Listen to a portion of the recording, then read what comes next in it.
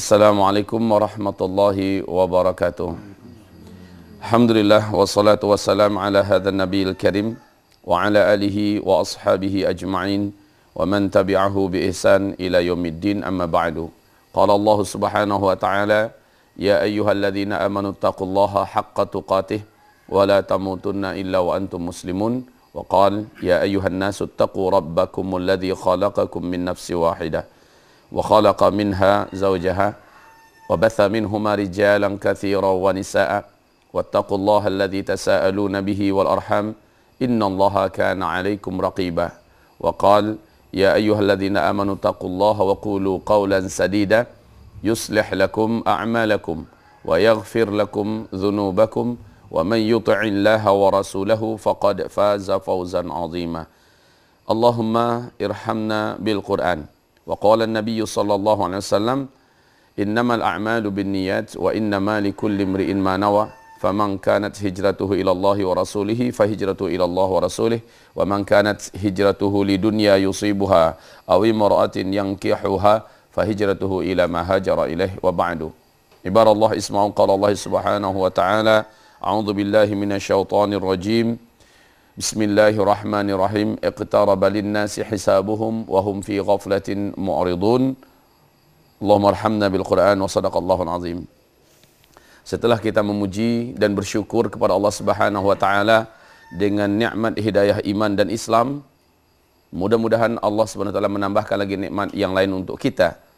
Amin. Kemudian kita ucapkan salawat dan sampaikan salam untuk kekasih Allah Rasulullah Muhammad sallallahu alaihi wasallam. Saudara-saudaraku, saudari-saudariku, seluruh pemirsa Uzma Media TV channel di mana pun berada dan umat Islam secara umumnya di mana pun Anda berada. Semoga Allah melindungi saya dan kita semua dari ketergelinciran dan ketersesatan dari surat al-mustaqim ini.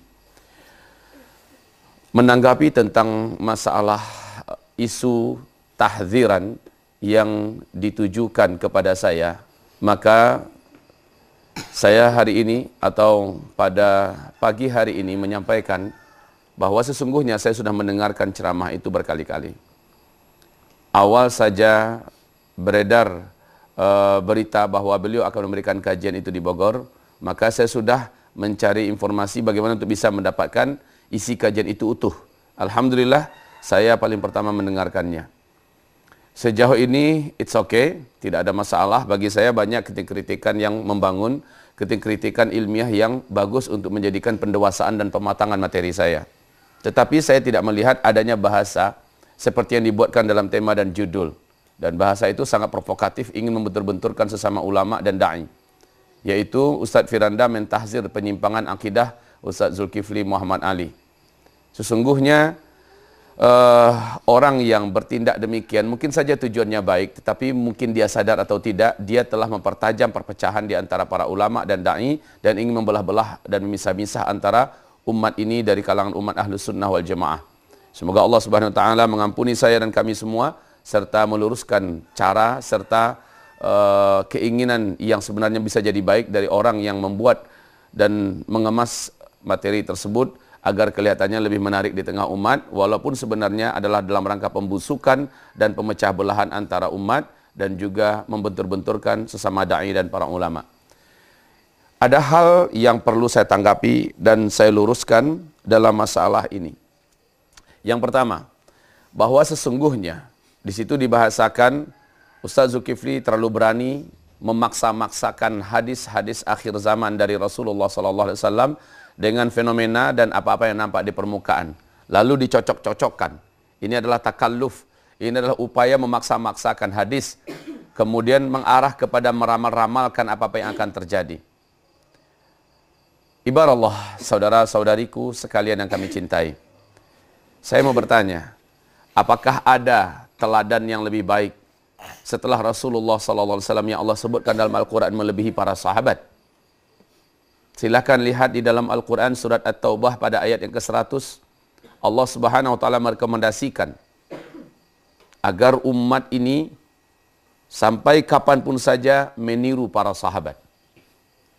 Para sahabat radhiyallahu anhum ajma'in Allah firmankan di dalam ayatnya itu a'udzubillahi minasyaitonirrajim was-sabiqunal awwaluna minal muhajirin wal ansar walladzina tabauhum bi ihsan radhiyallahu anhum wa radu wa yudkhiluhum jannatin tajri tahtahal anhar khalidina fiha abada dzalikal fawzul dan orang-orang yang terdahulu lagi awal-awal mereka masuk ke dalam Islam.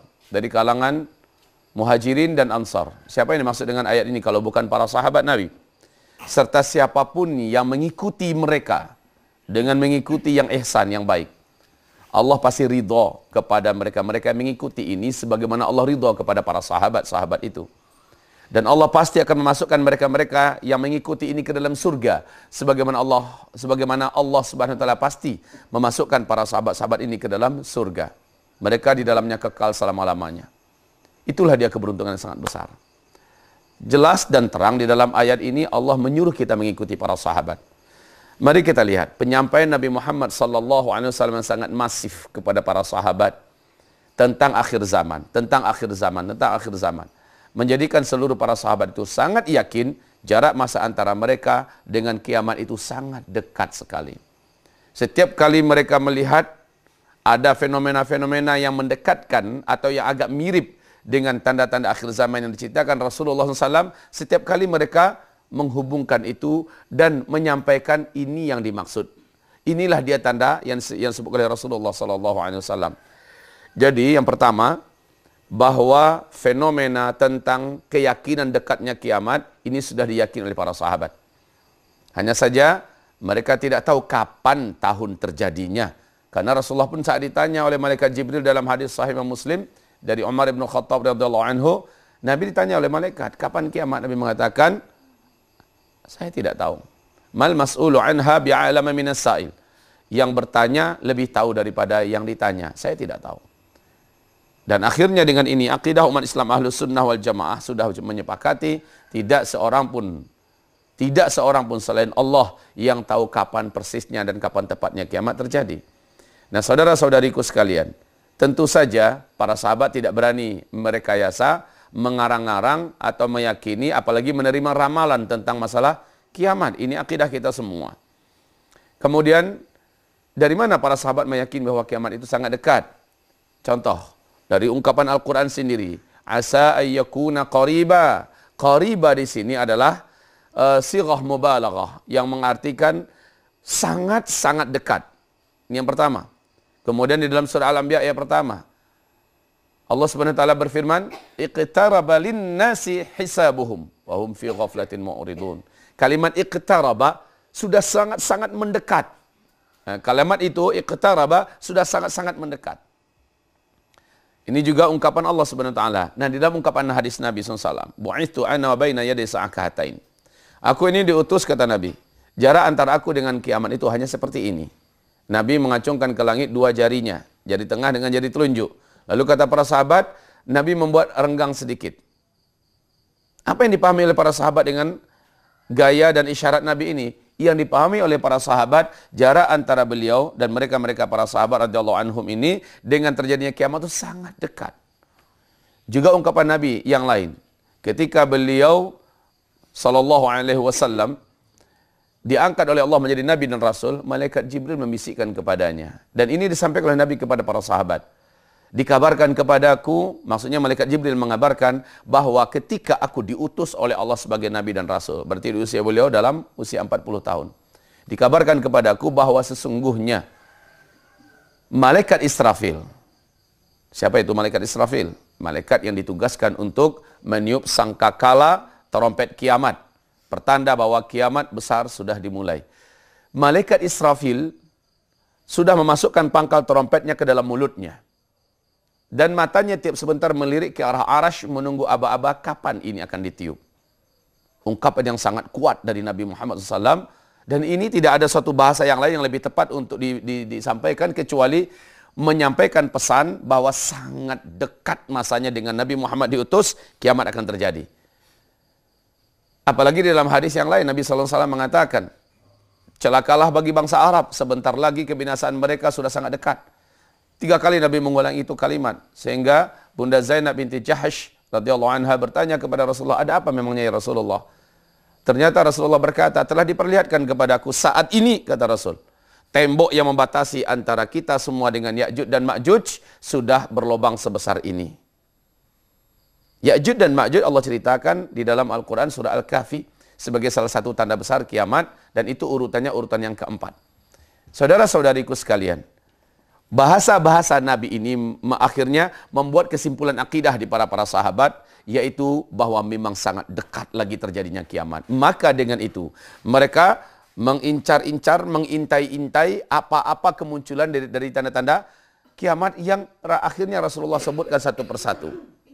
Baik, mari kita lihat bagaimana kebiasaan para sahabat yang mencocok-cocok hadis-hadis akhir zaman dengan fenomena-fenomena yang nampak di permukaan, dicocok-cocokkan. Dan ini sudah kelakuan para sahabat. Jika ini salah, tentulah Rasul akan menegur. Tentulah sahabat-sahabat lain juga akan meluruskan. Contohnya bagaimana? Sangat banyak sekali sahabat-sahabat yang mencocokkan antara tanda besar kiamat yaitu keluarnya Dajjal. Dengan seorang lelaki yang saat itu di zaman Nabi ada namanya Ibnu Sayyad. Ini suatu uh, berita yang sangat masyhur, hadis-hadisnya sahih. Ada yang di Bukhari, ada yang di Muslim, ada beberapa hadis lainnya tentang Ibnu Sayyad. Ibnu Sayyid ini adalah seorang lelaki yang tidak mau berbaur dengan para sahabat, bahkan tidak mau mendekat kepada Rasulullah. Kerjanya hanya mengintai-intai dari jarak jauh. Performannya, bentuk fisiknya, wajah dan agak-agak mirip dengan Dajjal. Kemudian, dia punya kemampuan yang orang biasa juga nggak punya. Akhirnya para sahabat banyak yang sangat yakin bahwa Ibnu Sayyid itu adalah Dajjal. Sehingga satu ketika, ketika Nabi bersama Umar Ibn Khattab radhiyallahu anhu sedang berbincang-bincang dari kebun kurma, satu batang kurma ke batang kurma yang lain, ini Ibnu Sayyid sedang mengintai-intai, mengintip-intip dari jauh. Kemudian dia melesat ke satu batang yang lain dengan kecepatan yang tidak ada manusia biasa yang memiliki kecepatan itu. Sep, sep, sep, sep, begitu cepatnya. Umar menghunus pedangnya, mengetahui dia bahwa ada Ibnu Sayyid di kebun itu, dan dia berkata, ya Rasulullah, beri saya izin. Ngapain kata Rasulullah? Itu adalah Dajjal. Dengan sangat percaya diri di depan Rasulullah, Umar berkata itu adalah Dajjal. Saya akan membunuhnya dengan tangan saya.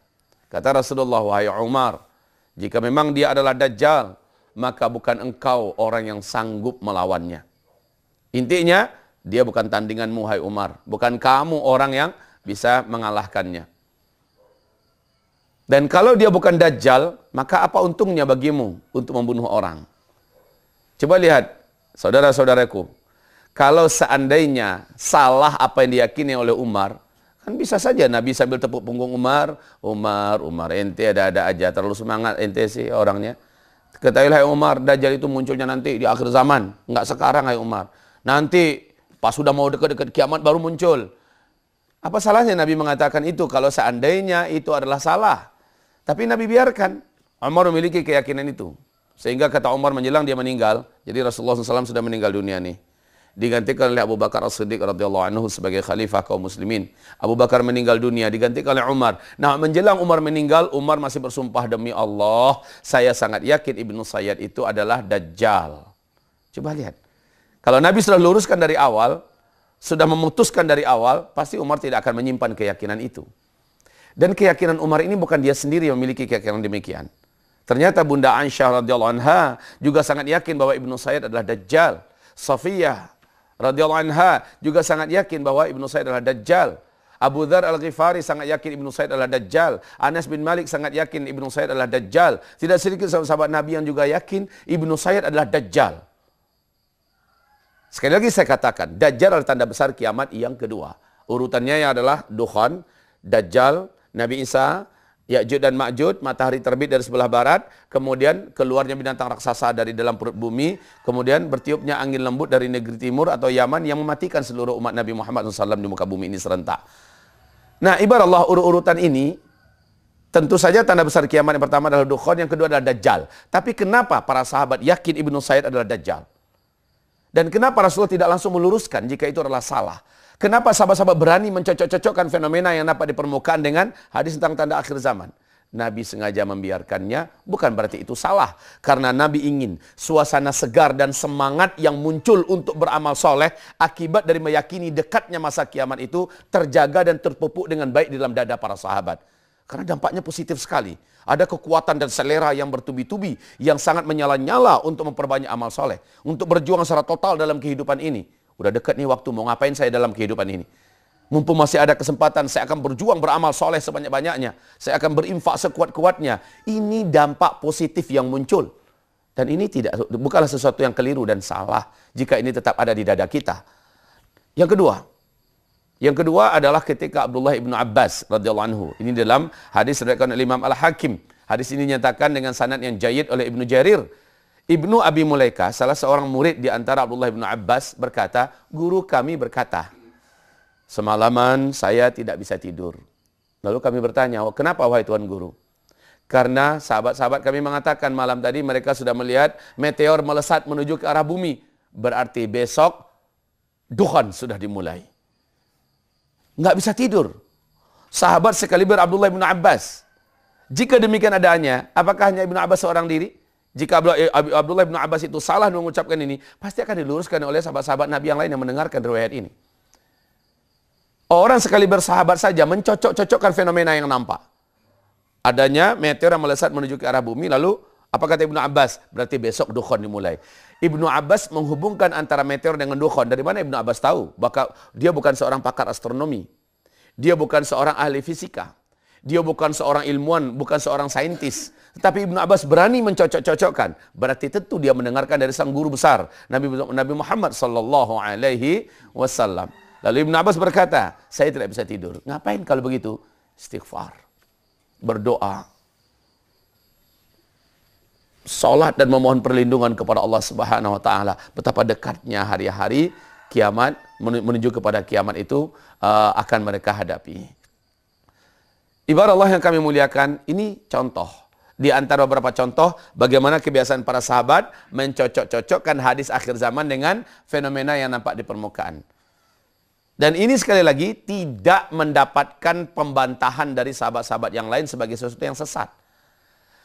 Ketika hari ini Zulkifli Muhammad Ali menyampaikan kepada umat Nabi Muhammad sallallahu alaihi wasallam yang mengerti bahasa Indonesia dulu awalnya menyampaikan bahwa fenomena-fenomena nampak di permukaan lalu saya sampaikan hadis-hadis akhir zamannya maka dikatakan saya memaksa-maksakan hadis terlalu berani mencocok-cocokkan. Apakah apa yang saya lakukan ini menyimpang? Jika demikian menyimpang maka tentulah para sahabat juga telah menyimpang dari awalnya mereka tetapi saya berani menyatakan itu dalam rangka menyubur suburkan, menumbuh suburkan semangat tentang akhir zaman ini agar tetap tertanam dalam dada umat Nabi Muhammad. Lihat, perkara tentang Islam ini ada empat hal yang ditanyakan oleh malaikat Jibril dalam Sahih Muslim. Yang pertama dia bertanya tentang Islam. Nabi menjawab dengan rukun Islam yang lima. Yang kedua dia bertanya tentang iman. Nabi menjawab dengan rukun iman yang enam. Yang ketiga dia bertanya tentang ihsan. Nabi menjawab apa itu ihsan. Dan yang keempat dia bertanya tentang ilmu tanda-tanda akhir zaman. Dan Nabi menjawab. Setelah itu malaikat Jibril ini pergi. Tentang Islam berarti ini mewakili masalah fikih ke fikih. Tentang iman ini mewakili masalah tauhid dan akidah syirik dan sebagainya. Tentang ihsan ini mewakili, mewakili tentang tazkiyatun nafas. Dan tentang ilmu tanda-tanda akhir zaman. Ternyata ini yang memupuk ketiga-tiga ini terjaga dengan dengan kuat, terjaga dengan baik. Ilmu ini berarti harus senantiasa diilmui oleh umat Nabi Muhammad agar senantiasa tumbuh subur, agar senantiasa terjaga spirit yang terkandung di dalam pemahaman dekatnya kita dengan akhir zaman. Berarti ini sesuatu yang harusnya terawat dan terjaga. Bukan malah dibentur-benturkan antara sesama da'i. Lalu dikatakan Ustaz Zulkifli terlalu berani dan dengan akidahnya menyimpang. Kalau ini adalah menyimpang, tentu sekali lagi saya katakan sahabat telah memulai penyimpangan itu karena mereka lah yang memberikan contoh melakukan penyesuaian-penyesuaian dan pencocok-pencocokan dan seperti terkesan memaksakan. Tetapi tidak ada sahabat lain yang yang menolak membantahnya kecuali mereka dalam rangka akhdul hadar, ya. Akhdul hadar dalam rangka untuk waspada, dalam rangka untuk hati-hati. Taib kaum muslimin. Namun beberapa fenomena yang saya ungkapkan ke permukaan dari hadis-hadis tanda akhir zaman dari Rasulullah itu ternyata sangat telak dan pelak tidak bisa sebenarnya kita mencoba membantahnya. Dari mana contohnya? Nabi mengatakan di dalam hadis Sahih Muslim tadi, Nabi mengatakan bahwa tanda kiamat itu sangat dekat sekali yaitu apabila bangsa Arab yang dulunya miskin tiba-tiba menjadi kaya raya lalu mereka berlomba-lomba membangun gedung-gedung yang tinggi-tinggi. Terpesan, terkesan ada pesan yang tersembunyi yang kuat dalam dalam hadis ini Nabi mengatakan jika zaman itu sudah engkau temukan jarak masa antara engkau dengan kiamat sudah sangat dekat. Saya bertanya, apakah dulu sebelum minyak bumi ditemukan di negeri Arab, Arab itu kaya? Tidak, Arab sangat miskin. Tapi setelah minyak bumi ditemukan, bagaimana perubahan negeri Arab menjadi negeri yang sangat kuaya raya. Kuaya raya. Dan Arab mendirikan negeri masing-masing. Dulu namanya masih satu ya, Jazirah Arab. Tapi setelah minyak bumi ditemukan, mereka mendirikan negara sendiri. Arab Saudi, Qatar, uh, Kuwait, Bahrain, Uni Emirat Arab, Oman, dan Yaman. Dan lihat masing-masing negara ini, apa yang mereka buat di kota-kota besar mereka. Gedung-gedung tinggi pencakar langit dan mereka saling berlomba-lomba membangunnya. Bahkan gedung tertinggi di dunia hari ini adanya di Arab, bukan di Eropa, bukan di Amerika, bukan di Jepang, bukan di Australia dan di mana-mana negeri, negara di dunia ini. Tidak, ternyata di negeri Arab. Ini contoh dan bukti. Apakah ada contoh atau bukti yang nampak lebih daripada ini sehingga ada contoh sebelumnya? Tidak ada. Dan jika Nabi mengatakan demikian, salahkah saya jika saya menyampaikan pada umat, inilah zamannya. Zaman di mana apa? Yang dimaksud oleh Nabi ini. Inilah di zamannya betapa dekatnya kita dengan akhir zaman itu. Ini contoh ya, satu contoh. Yang kedua, Muaz bin Jabal diajak jalan-jalan oleh Rasulullah sallallahu alaihi wasallam. Muaz diajak jalan-jalan oleh Rasulullah SAW. Ke mana? Ke Tabuk masih di Jazirah Arab, masih di negeri yang bersebelahan dengan Hijaz. Diajak ke Tabuk oleh Rasulullah sallallahu alaihi wasallam.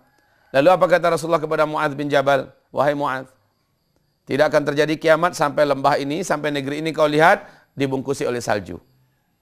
Pada tahun 2011, Syekh Su'ud Syuraim berkhutbah berapi-api di hari Jumat.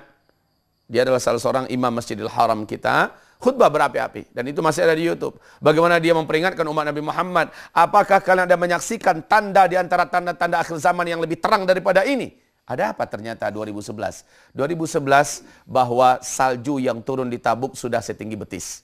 Hari ini, uh, tahun ini salju itu yang yang turun sudah satu meter sampai terus ke Riyadh, terus ke Palestina, Syria, sampai ke Mesir. Bahkan antara Mekah Madinah di musim-musim dingin itu sudah mulai berturunan salju. Adakah fenomena yang lebih terang daripada ini wahai saudara-saudaraku? Maka saya mencoba menyampaikannya untuk menumbuh suburkan semangat meyakini dekatnya hari kiamat ini karena dampaknya positif sekali yaitu gelegar yang yang tidak main-main untuk bersama dengan alam dengan agama Islam ini untuk bersama dalam berjuang memperjuangkan agama Allah Subhanahu wa taala ini. Ini dampak yang muncul dulu kepada para sahabat. Mereka total dalam membela Islam, dalam membela uh, agama Allah Subhanahu wa taala, dalam berinfak dan bersedekah, dalam beramal soleh dan beribadah dan dalam perjuangan bahkan dalam berjihad. Apa yang mau ditunggu? Oh, waktu sudah dekat kok. Inilah dia kesempatan yang ada, mumpung masih aman, berlomba-lomba beramal soleh. Ini prinsip para sahabat. Dan itu terpupuk dan terjaga dengan baik berkat mereka mengilmui tanda-tanda kiamat ini. Dan mereka meyakini kiamat sangat dekat. Oke. Okay saya mengulangi perbuatan dan pekerjaan itu. Dan juga Rasulullah SAW bersabda, makin dekat kiamat, makin langka atau makin sedikit ulama dan da'i dari umatku yang menyampaikan kepada manusia tanda akhir zaman. Dan saya bersyukur pada Allah jika saya diambil atau diamanahkan oleh Allah menjadi salah seorang di antara yang menyampaikan ini. Contoh yang lain, yang ketiga, mencocok-cocokkan hadis-hadis yang ada dengan fenomena di permukaan yang nampak. Yang juga sulit kita ingin membantahnya. Apa kata Rasulullah SAW berkaitan dengan sungai Efrat yang ada di Irak? Sungai Efrat adalah satu di antara tiga sungai terbesar. Sungai Nil, Sungai Tigris, dan Sungai Efrat. Sungai Efrat ini ulunya atau kepalanya itu adalah di Turki, lehernya di Syria, bodinya adalah di Irak, kemudian ekornya adalah di uh, Iran. Apa sabda Rasulullah dalam masalah ini? La taqumu sa'ahata yasiral furatu bi jabalin min dhahabin. Tidak akan terjadi kiamat sampai sungai Ufrat ini mengering kata Rasulullah. Lalu nanti akan ditemukan atau akan muncul akan didapatkan gunungan emas yang sangat besar di negeri itu. Nanti para lelaki di seluruh muka bumi akan membawa senjata-senjata mereka berperang di sana. Membawa senjata-senjata mereka berperang di sana, memperebutkan gunung emas itu. Dalam setiap 100 orang yang berperang di situ kata Rasulullah akan terbunuhlah 99 satu orang yang bertahan hidup. Setiap mereka berkata, semoga satu orang yang hidup itu sayalah orangnya. Saudaraku, tanggal 12 Februari 2013 di New York Times, NASA Amerika Serikat merilis pernyataan resminya. Apa kata mereka? Sungai Ofrat sudah susut airnya 60 persen. 60 persen. Bukan 10. Bukan 5 persen. Tapi 60 persen. Lebih dari setengah. Dan menurut penelitian kami, analisa kami, bahwa 2014 Sungai Efrat akan kering total.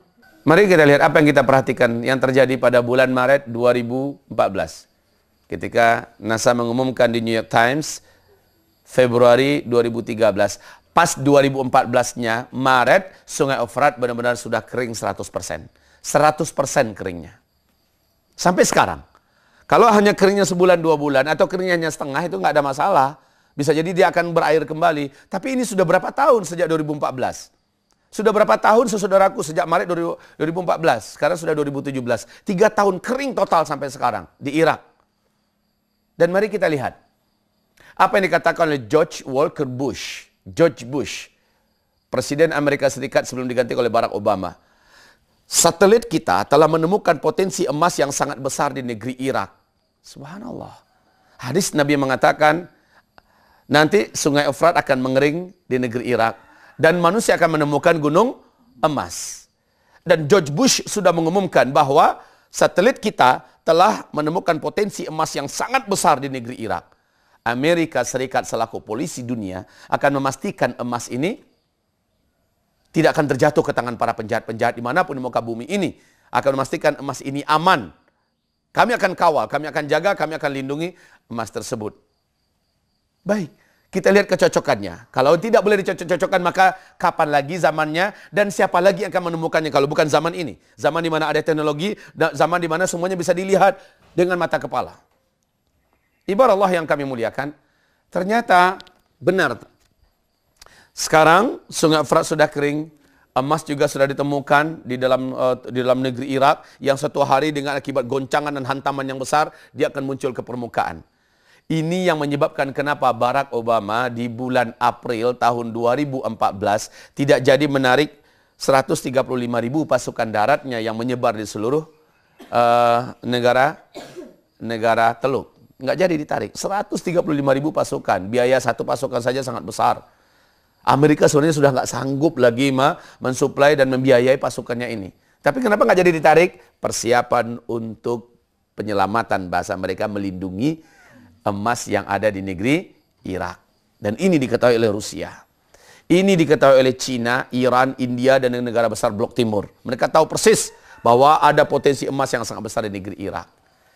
Ketika Donald Trump naik menjadi presiden, beliau tambah gila-gilaan menambahkan pasukan ke Irak. Mulai dari 4.000 orang, naik menjadi 10.000 orang. Kemarin ini dia tambahkan lagi 20.000 orang pasukan menuju ke Irak. Dana anggaran perang Amerika diperbesar daripada sebelumnya untuk dipusatkan di Irak. Perlu kita ketahui ini, ada apa sebenarnya dalam semua ini? Taib, yang paling penting sungai Efrat sudah kering, kemudian gunung emas sudah sudah ditemukan. Jika bukan ini zamannya maka kapan lagi? Jadi ketika saya menyampaikan ini, saya ingin menggiring semangat umat. Agar semangat itu terjaga, semangat beramal soleh, semangat untuk beribadah. Saya tidak pernah mengatakan yang tidak baik. Larilah ke hutan, bukan begitu solusinya. Tapi perbanyak amal soleh, karena itu perintah Rasulullah Sallallahu Alaihi Wasallam. Perkuat imanmu, perbanyak amal solehmu, dan senantiasalah engkau dalam keadaan berlomba-lomba dengan yang lain. Saudara-saudaraku, saya rasa tentang masalah ini penting untuk menjadi tekanan buat kita semua, penekanan buat kita semua. Oh, sekarang ada pembahasan tentang umur umat Islam ya, yang antara 1400 ke 1500. Di mana-mana kajian saya senantiasa menyampaikan. Sebaiknya para ustaz-ustaz kami yang mulia, uh, sekelas Ustaz Firanda Hafizahullah, sekelas Ustaz uh, guru kita, Ustaz Khalid Basalama hafizahullah atau bahkan Profesor Dr. Abdul Razak Al-Badar yang didatangkan ke Indonesia membicarakan tentang umur umat Islam hafizahumullah. Ya, kita dengarkan para ulama-ulama kita bahkan sekelas daripada Buya Yahya sendiri hafizahullah dan sebagainya. Mereka mereka berbicara tentang 1400 ke 1500. Seandainya lah mereka atau guru-guru kita ini dengarkan langsung apa yang saya sampaikan. Bahwa sesungguhnya kajian tentang umur umat Islam tidak ada satupun dalil yang sahih yang membicarakan itu. Ini saya sampaikan di mana-mana. Semua dalil yang berbicara tentang umur umat Islam, yakni sejak Nabi Muhammad SAW diutus, sampai umat Islam ini serentak Allah wafatkan di muka bumi. Tanda besar kiamat itu kan ada 10. Yang pertama, apa? Dukhan. Yang kedua, Dajjal. Yang ketiga, Nabi Isa turun. Yang keempat, Ya'jud dan Ma'jud bebas, lepas. Yang kelima, matahari terbit sebelah barat. Yang keenam, Dabbatul Ardi keluar dari perut bumi. Yang ketujuh, wafatnya serentak umat Islam di muka bumi. Ini akibat angin lembut yang sejuk berbau wangi kesturi bertiup dari negeri timur atau Yaman kata Rasul. Yang ke-8, 9, 10, udah orang kafir yang menyaksikan. Yang ketujuh, serentak umat Islam wafat. Serentak. Berarti antara Nabi diutus dengan serentak wafat umat Islam ini ada riwayat-riwayat dari Rasulullah Sallallahu Alaihi Wasallam dan keseluruhan riwayatnya itu tidak ada yang sahih. Jangankan sahih, Hasan pun tidak. Hadis yang tertinggi itu mutawatir. Di bawah hadis mutawatir namanya hadis ahad. Hadis ahad itu tiga tingkatannya. Tingkatan tertingginya adalah sahih, pertengahannya adalah hasan, yang paling bawahnya adalah dhaif. Nah, yang berbicara tentang umur umat Islam, hadisnya semua hadis dhaif. Sumber riwayatnya adalah adalah dari Abu Abu Daud yang meriwayatkan hadis ini. Untuk satu riwayat pertama, umur umatku, kata Nabi SAW, adalah umur umat Yahudi dikurangi dengan umur umat Nasrani. Bahkan hadis ini ada jalurnya yang juga sampai dhaif jiddan. Dan ini saya sampaikan pada umat. Saudara-saudaraku, ada uh, kemudian di hadis yang lain Nabi mengatakan, umur umatku adalah satu hari saja di sisi Allah. Lalu Allah tambahkan untuk umatku setengah hari lagi. Umur umatku adalah umur umat Yahudi dikurangi umur umat Nasrani. Umur umat Yahudi dalam sejarah 2000-an tahun, kemudian Nasrani adalah 600-an tahun dari Nabi Isa, dari Nabi Musa ke Nabi Isa itu 2000-an tahun, lebih-lebih sedikit. Kemudian dari Nabi Isa ke Nabi Muhammad, inilah umur Nasrani yang 600 tahun, lebih-lebih sedikit. Maka 2000 kurang 600 adalah 1400. Ini yang pertama. Di riwayat yang kedua yaitu umur umatku di sisi Allah hanyalah satu hari saja. Lalu Allah menambahkan untuk umatku setengah hari lagi. Semoga kata Rasul umatku tidak menjadi lemah karena Allah menambahkan untuk mereka setengah hari lagi. Satu hari di sisi Allah dalam surat As-Sajadah ayat 5 Allah firmankan, satu hari di sisi Allah kamu menghitungnya di dunia seribu tahun. Satu hari tambah setengah hari, berarti 1500. Jadi antara 1400 ada dalilnya, 1500 ada dalilnya. Tapi dua-duanya hadis do'if. Cuman yang kedua ini, do'ifnya banyak ditopang oleh do'if-do'if yang lain. Menurut para ulama oh, ahli mustalahul hadis, apabila hadis dhaif ditopang oleh hadis dhaif yang lain, maka statusnya naik kepada hasan li ghairi. Naik kepada hasan li ghairi. Taib, tapi tetap saja dua-duanya sumbernya adalah hadis dha, hadis dhaif. Sekarang bagaimana mendudukkannya? Para ulama mencoba mengkompromikan dan berijtihad bahwa umur umat Nabi habis di muka bumi ini sejak Nabi diutus sampai umat Islam ini habis adalah lebih dari 1400 tahun tapi tidak akan lewat dari 1500 tahun. Ini hadisnya hadis do'if. Saudaraku, hadis do'if ini kita punya adab-adab untuk bermuamalah dengan hadis do'if. Ada adab-adabnya. Yang pertama, apabila hadis do'if, dan ini selalu saya sampaikan ya, di dalam kajian-kajian tentang uh, umur umat Islam ini, hadis do'if apabila disampaikan kepada manusia, kepada publik, maka yang menyampaikan wajib langsung menyebutkan status hadis tersebut. Bahwa hadis itu adalah hadis do, hadis do'if. Itu yang pertama. Yang kedua, hadis do'if tidak boleh dijadikan landasan akidah. Tidak boleh dibina di atas hadis do'if itu keyakinan dan akidah. Ini saya sampaikan. Dan yang ketiga hadis do'if tidak bisa menjadi dalil dan hujah dalam masalah urusan usuluddin. Dalam urusan pokok dalam agama. Ini yang ketiga. Yang keempat, hadis do'if apabila bertentangan dengan hadis yang lebih kuat di atasnya, maka langsung hadis do'if ini diabaikan dan tidak dianggap.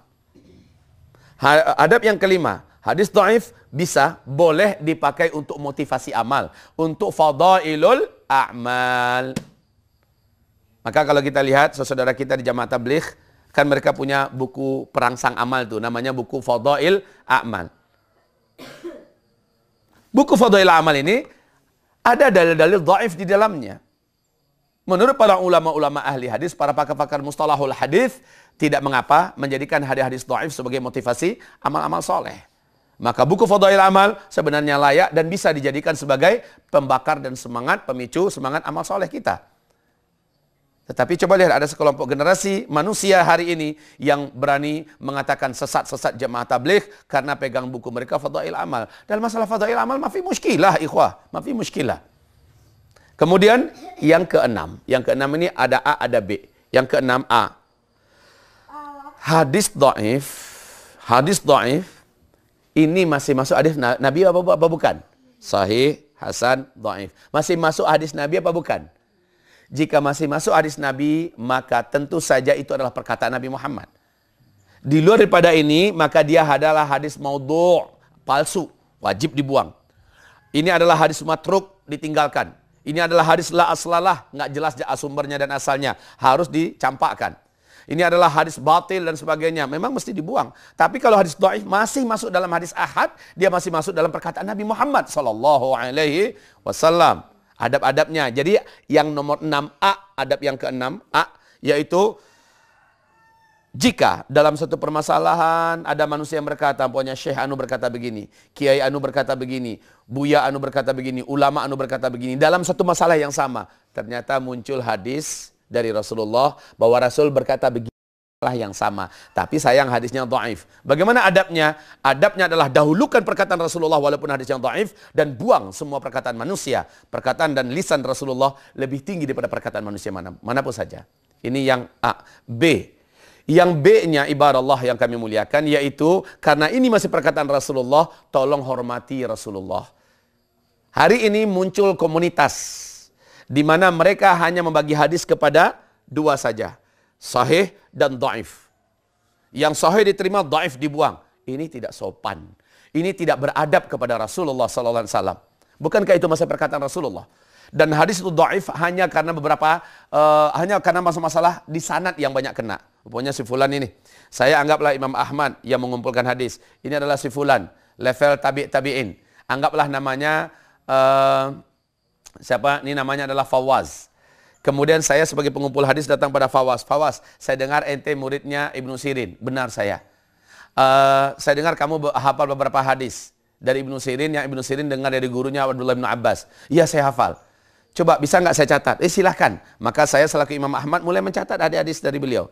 Tahap yang pertama, saya dengar dari guru saya Ibnu Sirin berkata begini, Ibnu Sirin berkata dia dengar dari gurunya Abdullah bin Abbas berkata begini, Ibnu Abbas berkata saya dengar dari Rasulullah bahwa Rasulullah berkata begini. Sudah, saya catat itu. Satu, dua, ada 17 hadis nih umpamanya. Saya simpan itu hadis dari Fawas. Kemudian satu hari saya temukan Fawas sedang kencing berdiri di buka publik, nembak tembok atau nembak pohon atau kalau ibarat kita zaman sekarang nembak ban mobil. Di tempat terbuka. Saya kaget. Saya pastikan ini benar Fawas ini. Ternyata memang benar. Saya ambil kembali kitab ha, kitab hadis saya, saya lihat mana yang hadis saya ambil dari Fawas. Kemudian saya buat hadis itu jadi jatuh karena orangnya tidak bermarwah. Orangnya jatuh cacat secara etika dan moral, adab ya. Lalu saya jatuhkan. Lalu ketika suatu hari saya lihat Pawas makan berjalan pakai tangan kiri lagi. Oh udah makin saya jatuhkan lagi hadisnya. Jadi kebanyakan hadis itu menjadi dhaif adalah faktor sanad. Tetapi yang itu perkataan masih perkataan Nabi tidak. Kadang-kadang di, di masalah yang sama dari sosok yang lain yang terhormat, yang kuat dari ingatannya, yang terjaga, muruahnya soleh dan berakhlak, maka hadis dari jalur dia menjadi kuat. Sementara dari jalur ini adalah menjadi le, menjadi lemah. Maka kuat dan lemahnya sebuah hadis rata-rata kenanya di sanad. Tapi itu masih perkataan Rasulullah loh. Masih perkataan Rasulullah SAW. Ini agar diperhatikan bersama-sama oleh kita. Jangan membuang saja. Hadis hadis sahih dipegang, hadis dhaif dibuang. Ini namanya bahasa kasar kurang ajar kepada Rasulullah sallallahu alaihi wasallam. Oke, adab yang ketujuh.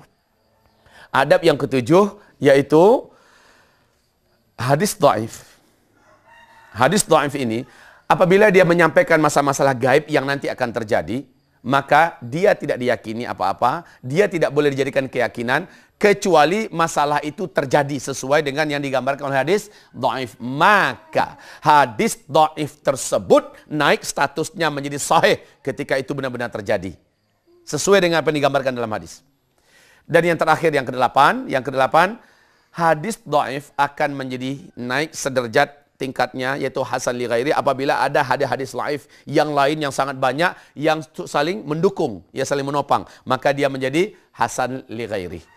Nah, saudara-saudaraku, hadis dhaif tentang umur umat Islam sejak Nabi diutus sampai umat Islam serentak Allah wafatkan dalam peristiwa tanda besar kiamat yang ketujuh yaitu antara 1400 ke 1500 mudah-mudahan kita dapat pahami ini seluruhnya dalilnya dari hadis dhaif dan menurut Syekh Al-Hafiz Ibnu Imam Ibnu Rajab Al-Hambali lewat dari 1400 tapi tidak akan lebih dari 1500 tahun hitungan Hijriah umat Islam akan habis di muka bumi ini. Sumbernya dari hadis dhaif. Adab-adabnya sudah kita sebutkan tadi. Dan hadis dhaif masih perkataan Rasulullah wajib kita hargai, kita ilmui dan cukup untuk menjadi khazanah dalam keilmuan kita. Tidak dibina di atasnya akidah dan keyakinan. 1500 paling lama. Lah sekarang sudah berapa Hijriah? 1438. Hijriahnya 1438. Menghitung umur umat Islam bukan sejak Nabi Hijrah. Karena Hijrah itu kan dihitungnya sejak Nabi Hijrah dari Mekah ke Madinah ya kan. Ada 13 tahun Nabi tinggal di Mekah. Berarti dihitungnya dari sejak Nabi diutus dong. 13 tahun di Mekah. Yang 1438 tambah 13 jadi berapa? Jadi 1951. Maknanya kalau kita ambil full saja 1500, kita ambil full saja 1500, jadinya yang tersisa untuk umat Islam hidup di muka bumi ini 49 tahun saja lagi ke depan hitungan hijriah. Ini bersumber dari kedua hadis yang saya jelaskan tadi.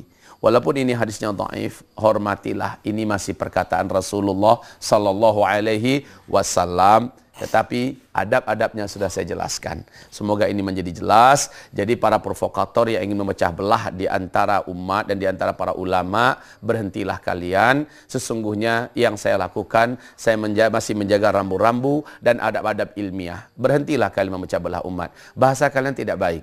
Bahasa kalian Ustadz Firanda mentahzir Ustadz Zulkifli penyimpangan akidah Ustadz Zulkifli Muhammad Ali. Penyimpangan akidah seperti apa? Apakah akidah para sahabat itu menyimpang? Apakah yang sampaikan ini adalah salah? Apakah kalian menyangka kalian saja yang benar? Tobatlah kalian kepada Allah. Saya selagi ada yang mengkritisi saya, saya akan perbaiki itu diri saya. Selagi ada yang mau menegur saya, saya akan kritisi.